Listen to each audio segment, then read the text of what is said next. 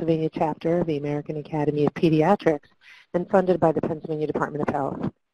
This webinar led by Ms. Shakira Gore aims to discuss the importance and value of a medical home and primary care for children and families, learn more about the medical home community team, and the goal of providing home visiting and care coordination services for families to help address social determinants of health and child development.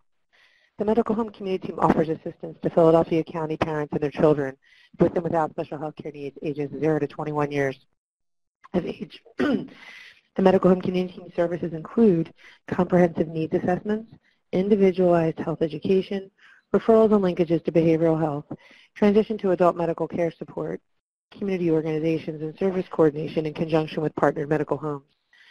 My name is Dr. Renee Turchi, and I'm a pediatrician at St. Christopher's Hospital for Children medical director of the Pennsylvania Medical Home Initiative at the Pennsylvania chapter of the American Academy of Pediatrics. This webinar is being recorded and will be available upon request. Please be advised that none of the speakers today have any disclosures. Please note that the information presented in this webinar is educational in nature and does not necessarily represent the views or policies of the Pennsylvania chapter of the American Academy of Pediatrics or its funders. Now please allow me to introduce our presenter for today's webinar. Shakira Gore is the program manager for the Medical Home Community Team, a home visitation program at the Health Promotion Council, a subsidiary of the Public Health Management Corporation. Ms. Gore received her Master's of Social Work from Temple University and Bachelor's of Human Development and Family Studies with a minor of Sociology from Penn State University.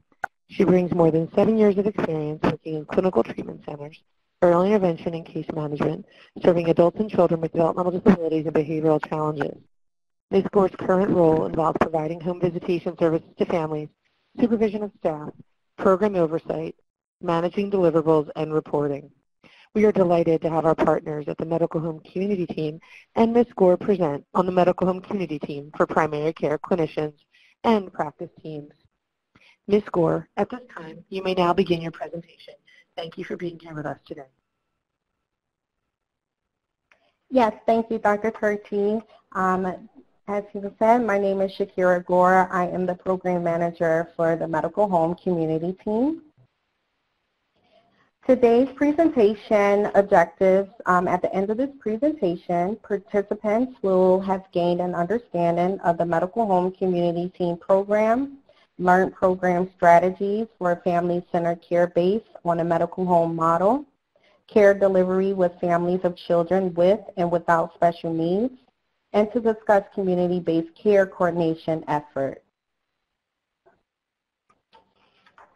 The Health Promotion Council, HPC, is a nonprofit corporation that was funded in 1981 to implement community-based hypertension education and control programs. Today, Health Promotion Council possesses more than 30 years of experience in chronic disease prevention and management through direct service, capacity building, and policy and systems change initiatives. Using this approach, HPC empowers individuals and families and addresses the environment in which they live, work, learn, and play. The Medical Home Community Team lives as a collaborative between the Health Promotion Council, a public health management corporation affiliate, the Pennsylvania chapter of the American Academy of Pediatrics, the Medical Home Initiative, and the Philadelphia Department of Public Health, Division of Maternal, Child, and Family Health. A medical home is best described as a model or a philosophy of primary care that is patient-centered, comprehensive, team-based, coordinated, accessible, and focused on quality and safety.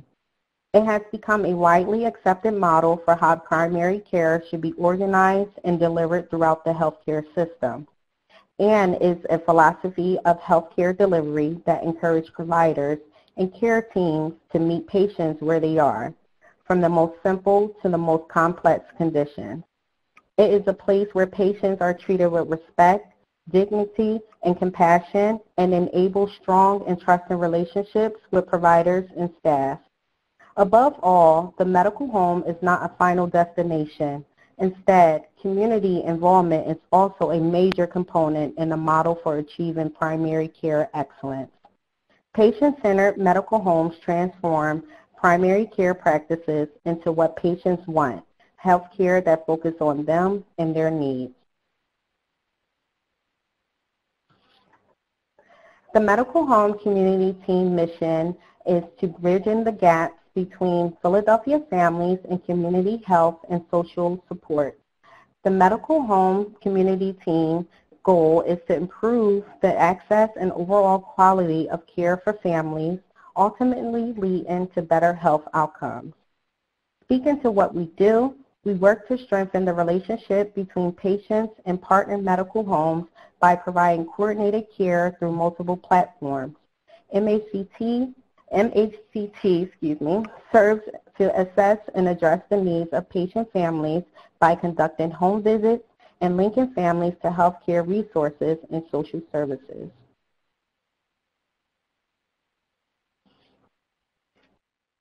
Our team profile is made up of a multidisciplinary team of individuals with our program director having experience in providing domestic violence, crisis intervention services, and has worked in family-centered care and community health work program development for more than eight years. Our program manager brings more than seven years of experience in clinical treatment centers, early intervention, and case management, serving adults and children with developmental disabilities and behavioral challenges.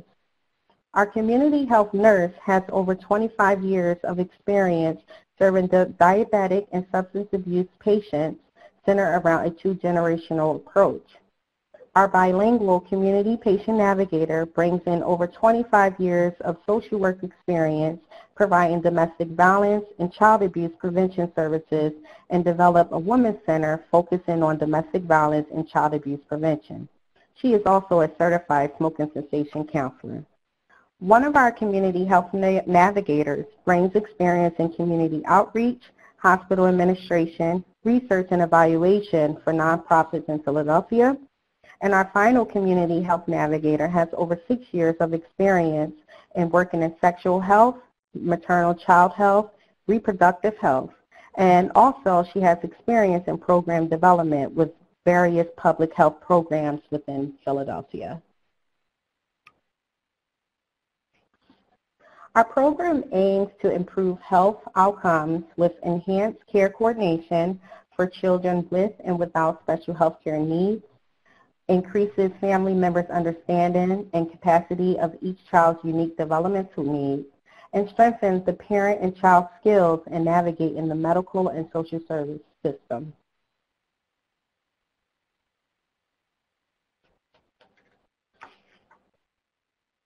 MACT has seven strategies that we work towards achieving each year.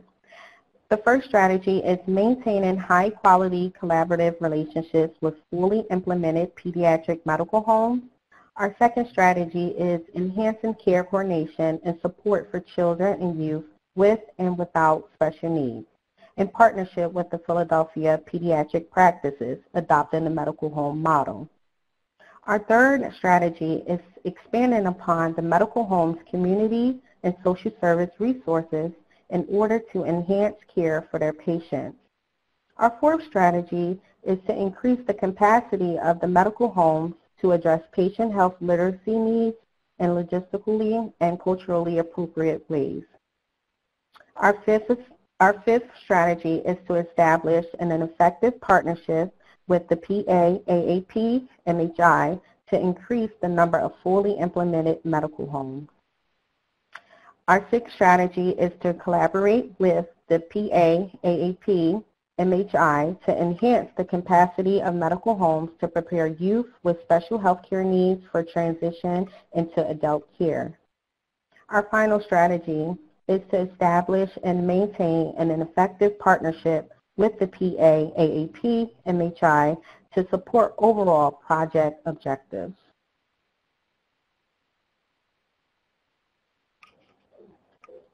who we serve.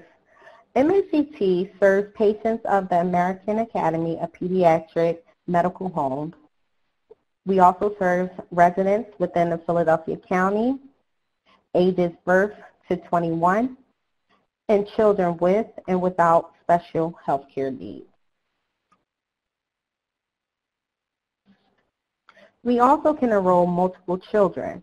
MACT doesn't just work solely with the referred child, we are able to provide support to the child's siblings and their parents or guardians, recognizing that we cannot just provide support to the child and leave the rest of the family out of the picture, including the siblings and the caregivers as well, plays a major role in addressing the well-being of the child and their family.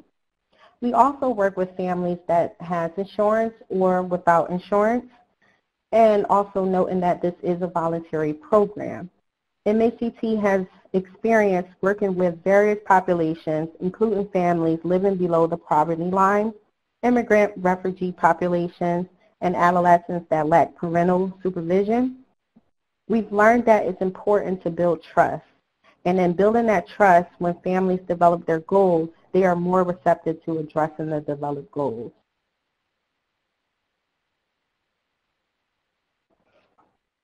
So to speak more about the services that we do, um, MACT is a home visitation service program, meeting the clients in the comfort of their homes or areas where they're the most comfortable.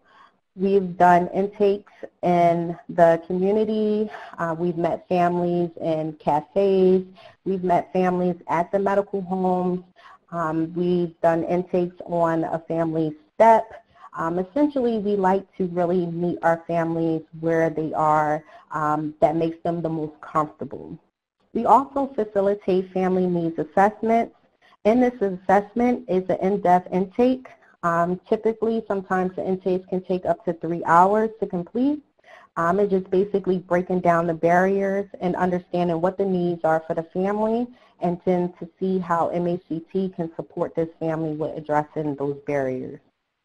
We also do referrals to, to sources for behavioral, mental, and developmental services, specifically to the family zip code we look into resources that is within the family's neighborhood to um, decrease travel because we recognize that a lot of families struggle with transportation issues. Um, sometimes they may not have the funds to get into certain appointments and so forth. So we know that it could be in the best interest of the family to look for the resources that is within their neighborhood or easy accessible. We also provide health education and health literacy and we also assist in navigating through the social service system and community. Speaking to the notion of navigating, MACT focus on the process of monitoring and assisting families in getting connected. Our navigation team takes the extra mile in ensuring that families are connected successively with confirmed appointments or we even have attended educational meetings such as IEPs and or appointments at social service offices. When our program is, when our program is introduced to a newly enrolled family, we ensure our families that we will do all we can to support them and making, the, making sure that they are getting connected to the resources that are needed. We, are, we also enhance families' capabilities. Along with assisting the families with navigating through these systems is also a learning process for our families, guiding them through the system and not enabling families by doing the work for them. But we teach the skills to help them progress successfully on their own when seeking the resources. We also utilize an interpretation service um, which has access to over 200 um, languages. Um, this service we have used via phone or in person um, to make to accommodate our service delivery.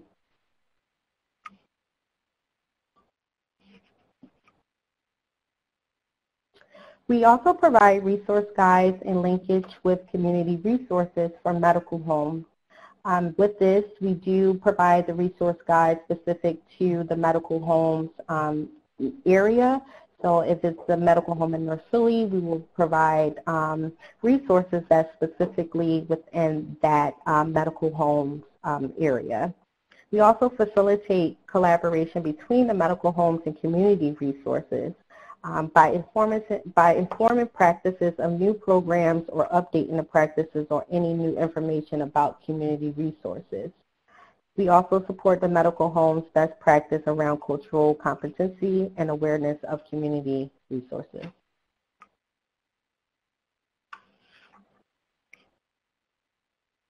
MACT um, focus a lot on family inclusion, being committed to a family-centered practice and focused decision-making. We also have a strength-based approach. This allows our families to recognize and reinforce the family's capabilities and not just their needs and their problems. We also provide individualized service planning. This becomes more personalized and we're able to respond to both the parent and children specifically to the circumstances that, of their needs and be available with the support services that are formal and informal. We also provide comprehensive and concrete services. This allows our program to address the family's broad range of conditions and needs. Lastly, outcomes-focused planning and service provision. We will be able to create an intervention plan that establishes achievable goals with the family during their time enrolled. Families' intervention plans are broken down per goal to address a specific barrier.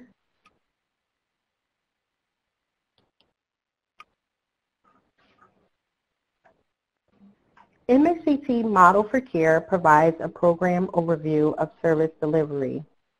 Families are enrolled for three months, and at a three-month mark, marking period, families are reassessed to see if services are needed for additional three months. How families are enrolled is either by recommendation by a provider or the family may have expressed some interest in MACT or a community-based program. The, the referral is made to the program, then the initial in-home intake is conducted by the program manager. The PM then assigns the family to either a community patient navigator or our community health nurse, who would then develop and create an intervention plan based on the barriers that was discussed during the intake. During that process, the CPN and the CHN will continue to follow up with the family um, to provide the resources and the services and then reassess the goals at the three-month period. During this whole process, it's important to note that we remain in contact with the medical home who made the referral. And with this, we provide progress notes. We inform the medical home on what's going on with the family, or if there's any issues that we may need assistance on, or just informing them in generally what's going on um, with the family. We stay in and we stay in consistent communication with the medical homes um, with the referred, about the referred family, excuse me. And then at that point, um, at the three-month period, when we do an assessment, a reassessment to see if the services are needed, um, we can either discharge the family or we can continue them for another three months. So a lot of times we don't like to say discharge because we do recognize that, that there are problems that can that are ongoing.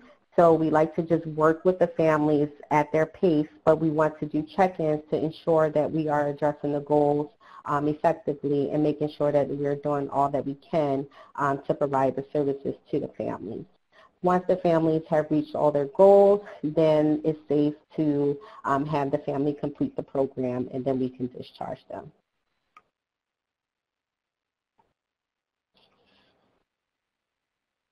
So just to um, give you an idea of what a case may look like for MACT. Um, a parent who has difficulty navigating services and referrals, referrals, the child with fetal alcohol syndrome didn't transition successfully to early intervention and was previously in foster care and now in the care of the parents. The parents have financial struggles and issues with aggressive paternal half-siblings and child's behavior is now more difficult to manage, and mother would benefit from parenting support. Parents are very cautious of new service providers and, and is in need of encouragement to engage. With this family, MACT successfully reached all program goals within four months. MACT conducted multiple home visits to assist this family with addressing barriers, with education enrollment, connected the family to behavioral health services for family therapy, provided parental relationship resources, facilitated transportation options to accommodate appointments, and assisted the family with social, social security benefits renewal. and provided the family with basic needs, tangible needs such as coats, safety home prevention items, pest management, fire prevention, storage items, organization.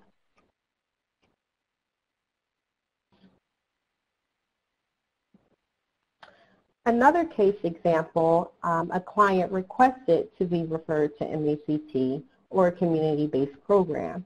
The client had poor medical appointment follow-up, needed help with care coordination, and the one-year-old with con congenital heart disease, developmental delay, feeding problems, a rare genetic disorder, and family needed assistance with reviewing medication instructions and availability with feed and tube instructions and multiple medical appointment support. When MACT provided services to this family, the family was successfully able um, to complete the program within three months with, along with conducting multiple home visits to address the barriers. MACT recognized that the family had a language barrier and proceeded to address that barrier by involving the medical home once it was found that a language barrier was the main issue, MACT coordinated with the medical home to develop a color-coded system that would help the parent administer the child's medication correctly. MACT also assisted the family with obtaining bilingual nursing services for the child. Furthermore, MACT connected the parent to ESL resources and assisted the family with addressing tenant issues. So this just kind of provides an idea of what um, um, referrals our program receives.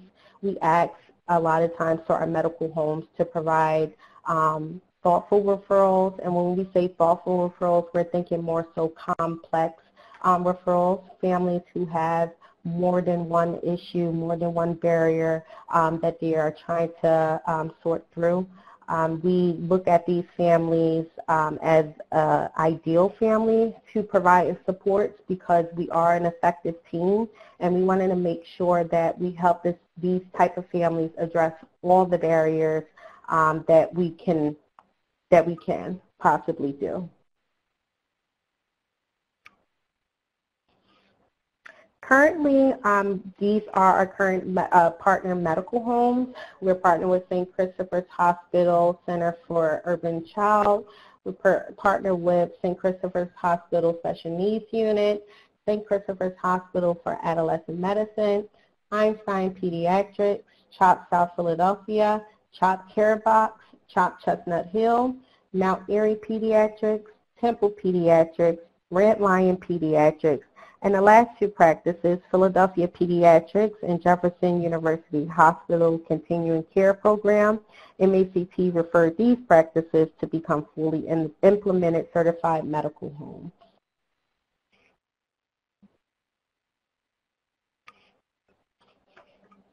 Since May of 2017, MACT has successfully uh, serviced over 300 children we also made connections, um, resources, connections to over 450 um, community service providers. We also, 94% of our families enrolled talk with a home visitor about interpersonal balance and screen for behavioral health. And 75% of our families successfully completed our program.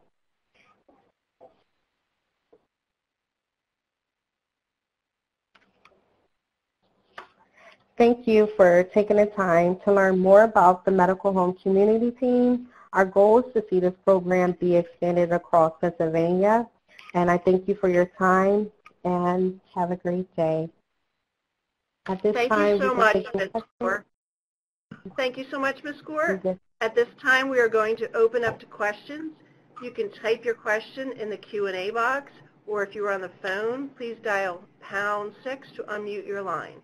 Again, you can type in the Q&A box or dial pound six to unmute your line. Thank you.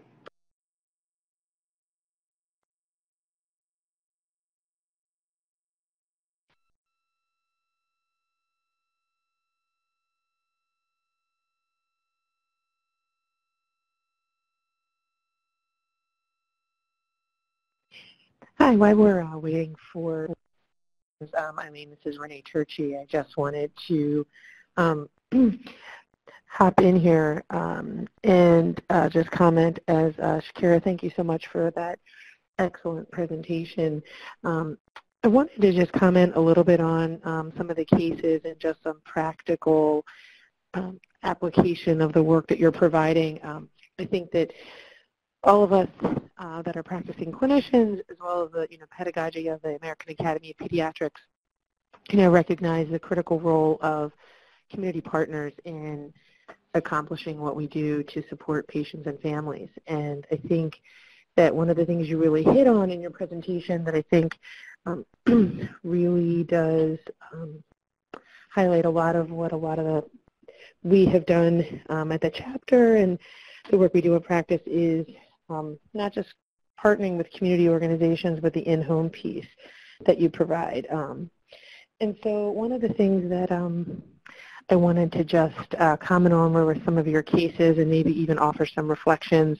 Um, as you had mentioned, um, as someone who's in Philadelphia um, and has worked with your team personally with my own patients, just, um, you know, you had, you, um, I don't know if folks um, had any comments or have had any other experience with programs like yours. I think many of our practices have worked with the Elks nurses and Special Kids Network. So I think uh, many folks, and anyone can, you know, jump in there, um, can um, attest to, you know, how helpful it is to have someone in the home because unfortunately we're not able to do home visits anymore. Um, one thing that I wanted to just uh, sort of reflect on that I think um, is a really key fundamental thing that um, we've worked on um, with you, Shakira, and I wonder if you can talk about this a little bit, um, and I know that in the past when our practices have worked with the ELKS nurses, um, we also have had um, had this as well is the communication that occurs. Um, because it's one thing, you know, you sort of outlined that great algorithm in your presentation, which I think was helpful for folks kind of going through what happens. But I think for many of us, one of the things that often can be a challenge is kind of that, um, you know, that, that loop that occurs. Because sometimes we make um, a referral, but sometimes it's, you know, busy practice, you know, flu season, you know, we're hearing from the CDC that flu season is on the rise. Um, so I wondered if you could comment a bit, Shakira, on your experience. I mean, I certainly can comment on my personal, but I just wondered, I'm thinking folks probably would want to hear from you about, you know, maybe some successes and then maybe some challenges on um, two-part question with the communication. One is challenges on outreaching to the families, um, because I know that we've had some of that too, families' numbers changing, and you know maybe a patient says to me, hey, Dr. Turchi, I'm willing to allow medical community to come out, and then when you guys reach out, you aren't able to connect with them. That's sort of the first part of my communication area that I was hoping you could reflect on. And then the second one is sharing some of the successes and challenges you may have had with practices across the board in closing that feedback loop on the provider side, the referral source, and what are some strategies and things that you guys have used. Um, so I was wondering if you could if you could comment on those two scenarios for us. Yes. Um, so um, to answer the first part of the question, um, as far as the communication part, um, like you said, we do go through a period where some of our families um, are unresponsive and it, it it plays a lot to like what's going on at the time of the year, holidays, um, things such as that. Um, one thing that our program doesn't do, we don't give up. Um, we still um, connect with the family, keep trying to call them. We also um, inform the medical home, um, letting them know, hey, you know, we're finding it a little difficult, you know, trying to reach out to this family. Is there another number? Is there email? Um, I can speak to one example where I had an issue with trying to get in touch with a family who really um, could use our services. Um, and with that, I asked the social worker if she could call me um, the next time the parent was in the room um, with her. So that happened and I had an opportunity to speak with the parent and I believe mom was, you know, a little apprehensive about um, a social service program that comes into her home. Um, but after she spoke with me and, you know, I kind of explained the program to her and basically told her that, you know, our program is going to walk with you um, through these challenges. You know, we definitely understand um, that first, you know, there's a trust um, that we have to build with her. Um, and with that, just having that conversation kind of smooth things over um, to the point where mom, you know, scheduled the appointment to have the intake done, and then the services was provided.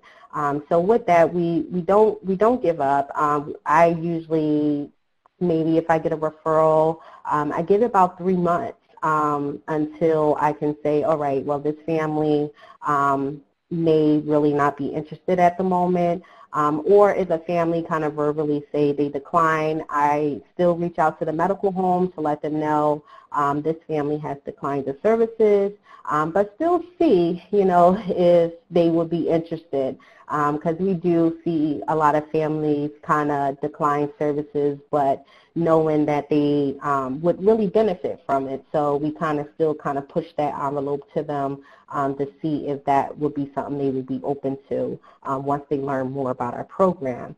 Um, and to answer your second part of your question, the feedback part, um, we do a medical home assessment form. Um, and with this, we kind of get an idea of the services that's being provided. Um, from our program, from the medical home, from the family's perspective.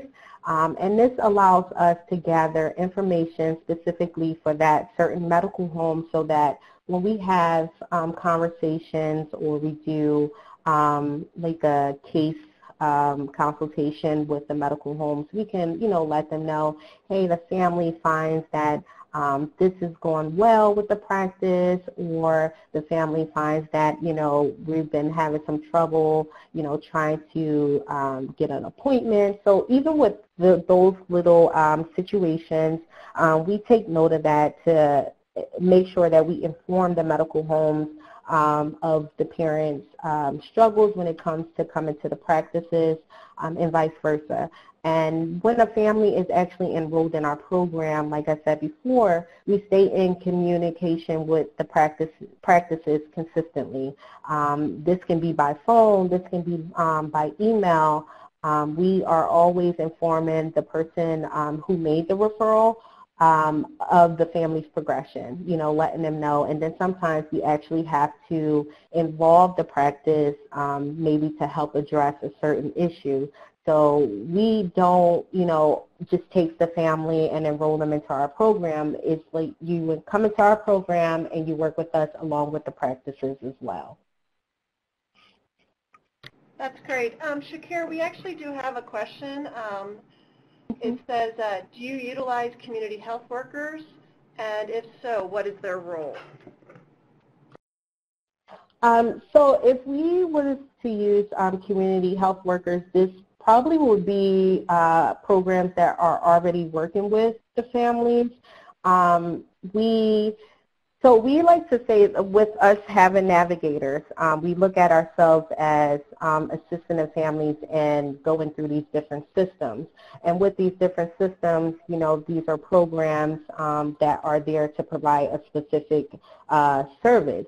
Uh, so with the family's consent, we do contact the programs. Um, if it's a situation that we are addressing where we need the program to be involved, um, with the family's consent, we do contact the programs um, to let them inform them that we are um, also working with the families and see how we can fit in um, with helping the families also.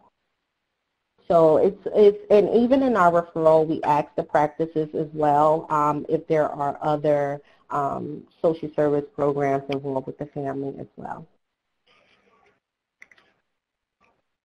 That's great. Thank you. If there's any other questions, please feel free to use the Q&A box. It's pound six on your phone. Shakira, this is Renee again. Just, you know, um, mm-hmm. you know me, I always have a 100 questions, so I was happy to happy to ask a couple and um, just because I think this is such an important conversation while we're waiting for other folks. So please, if there are other folks that want to either type something in the um, dialogue box or speak out on the line, let us know. Um, but um, just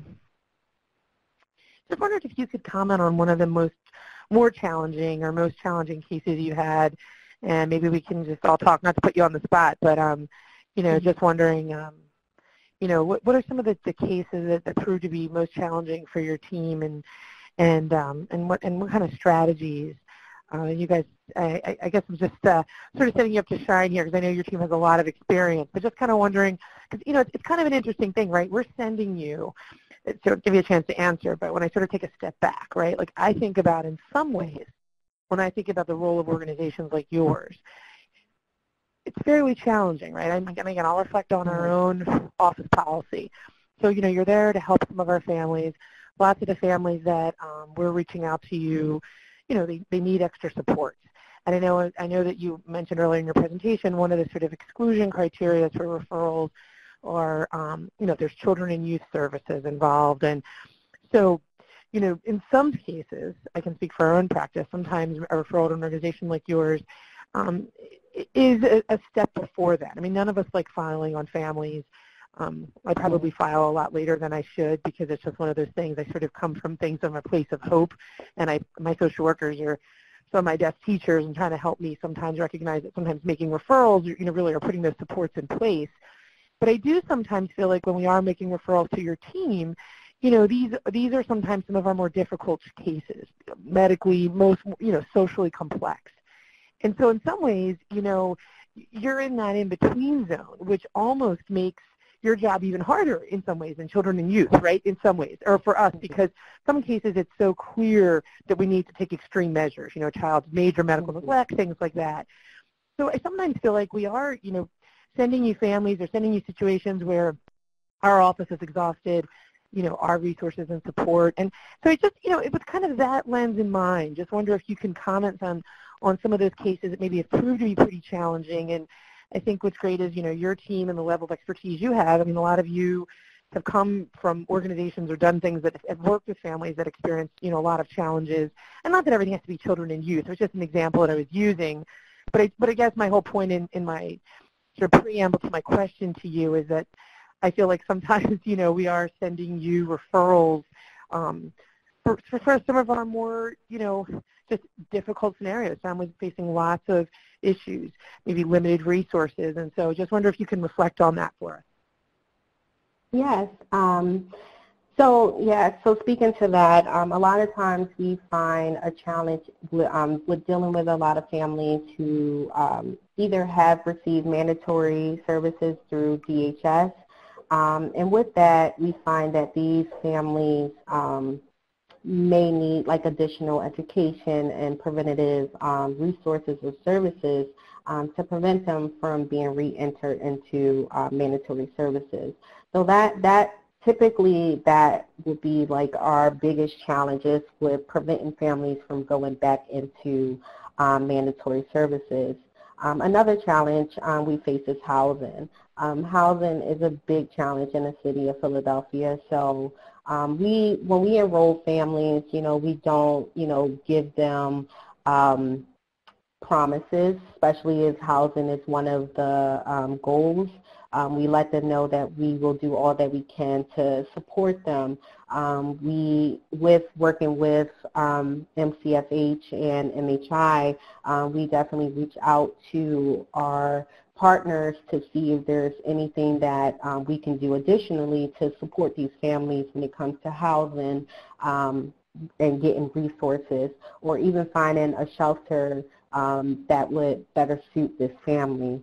So just trying to um, take extra measures um, to prevent certain, certain, certain, excuse me, certain, certain, certain, I'm sorry, I couldn't get the word out, excuse me. Um, just to prevent families from going back into um, DHS um, or to find housing resources, we try to um, take that extra measure to help them address it. Yep, that's great. I mean, that's been my experience. I think, you know, having that team approach and the armamentarium multi-pronged, and every family is different. You know, for some families, it's, um, it's just, I just think there's a variety of um, supports that families need, and I think, I think to me, the big take-home is just that, you know, referrals are um, and in-home supports are really just meant to um, strengthen and uh, build, build, build that rapport. So Thank you for answering questions. I don't know, um, Eileen, are there any other questions or comments? There are no more questions at this point. If any do arise, we will be sure to pass them on to Shakira, and she will be able to respond later. Um, Shakira, we just want to thank you very much once again. We thank the Department of Health for sponsoring this. If there's no other questions, I hope everyone has a great day. Thank you.